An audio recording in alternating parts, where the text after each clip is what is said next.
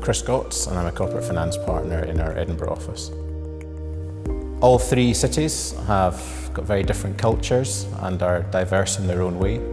Aberdeen has long been reliant on the oil and gas industry, which has led to many truly global businesses setting up in that city. However, the oil and gas industry is cyclical and steps have been taken in recent years to diversify away from a single sector with initiatives such as Opportunity Northeast. Glasgow is emerging from a post-industrial phase. It's emerging through um, a process of regeneration to being a knowledge city. It's not been an easy journey, but the journey is leading to a diverse and energetic business culture which is resilient and the home to many very successful family and owner-managed businesses. Well, Edinburgh has been the long-term home for many significant financial institutions um, there's a sizable presence of the professions and a global reputation for innovation and technology has led to Edinburgh being a very desirable place to live for the, the young, the innovative, the high earners and the highly skilled workers.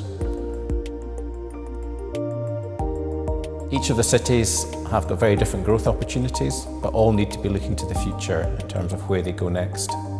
In Aberdeen, oil and gas will continue to be a major source of growth. We're coming out of a dip and look like we're going back into a growth cycle. But the strength of oil and gas has masked many other successful sectors, such as food and drink, technology and life sciences, and tourism, and steps are being taken to further grow those sectors to reduce reliance on oil and gas.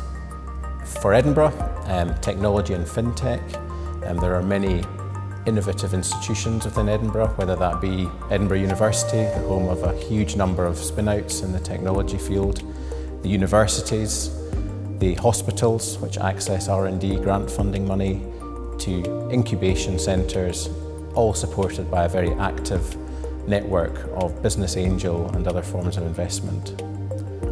Glasgow, equally fintech and technology, but historically has been very strong in retail supported by a large population.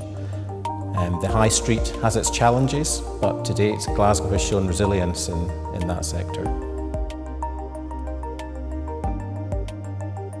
For our core sectors to continue to grow, we need to ensure we have the skills to support those sectors and that's going to require each city to be an attractive place to live and work to the younger, innovator generation.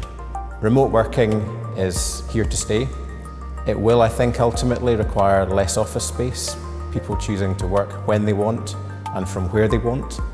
But ultimately, employers should not underestimate the value of human interaction and collaboration in the provision of best service.